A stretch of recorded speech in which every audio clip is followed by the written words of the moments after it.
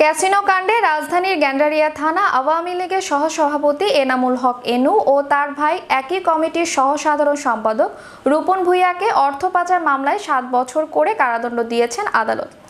এছাড়া তাদের সম্পদ বাজেয়াপ্তের নির্দেশও দেওয়া হয়েছে।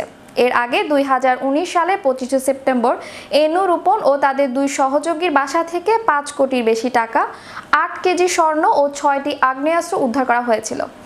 ওই সময় এনু রূপন গা ঢাকা দেন। পরে দুই সালে তেরো জানুয়ারি রাজধানী থেকে তাদের গ্রেফতার করে পুলিশের সিআইডি বিভাগ।